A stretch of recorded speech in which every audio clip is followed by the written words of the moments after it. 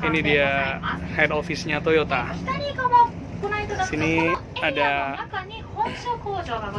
ini ada main office factory ya. Didirikan tahun 1938 Toyota Motor Corporation itu adalah pabrik yang paling tua. Ini head office-nya. Di Tokyo juga ada ada dua. Ada technical center ya.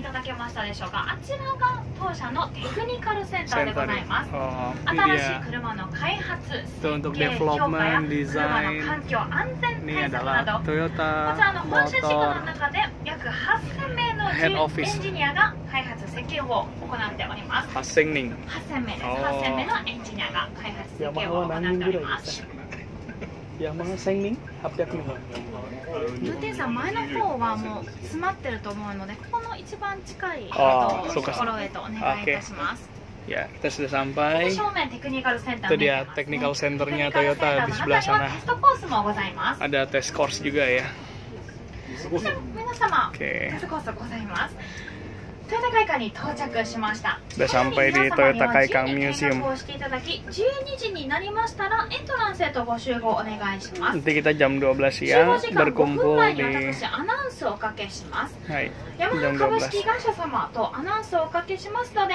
あアナウンス聞こえましたらエントランスへとご移動お願いします。Oke, nanti kita kumpul di entrance gate ya jam また、eh, お一人ご希望のお 12. 客様、あの、 Oh, お kalau 部 mau 屋も取っ sholat, てあるので、お部屋の場所ご案内したいと eh, 思いますので、 saya エントラ akan ンス jelaskan eh, tempat ご移動 eh, したい berdoanya. あと、私、あの、 tempat ご誘導、ご案内したいと思いますので、お願いいたします。 Ya, terima 皆さん、 kasih.